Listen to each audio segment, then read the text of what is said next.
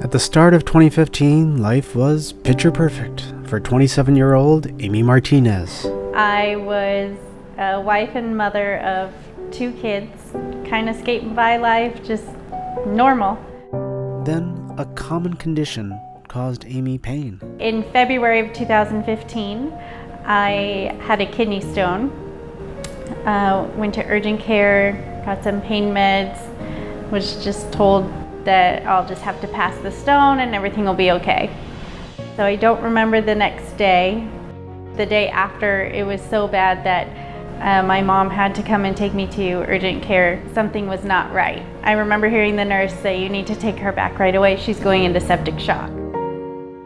I was in a coma, medically induced coma for 10 days. And when I came to, uh, they had told me I needed to have both my legs amputated. So my legs were amputated pretty quickly. After a few failed attempts at trying to save my hands, I had um, them done one at a time a few months after. And by August of 2015, I was a quadruple amputee.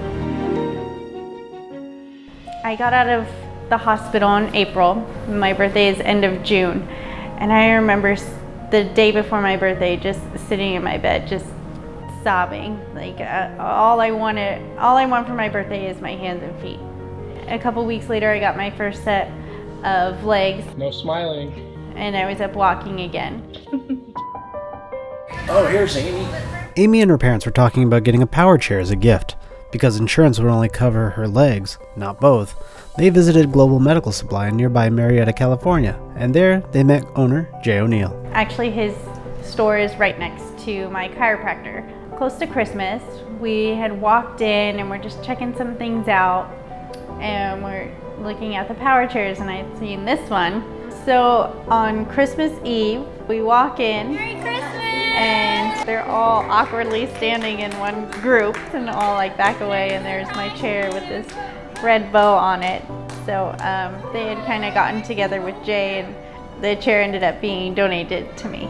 Amy would share with us later that that chair came at such an opportune time because her prostheses were new that she was walking on and they were hurting a lot and that chair meant so much that day to her with my power chair, I'm able to go where I want, when I want with the chair. Very easy to break down for those who are traveling with me. It just becomes such a good tool for me, especially just even just here at the house. I can get around the kitchen.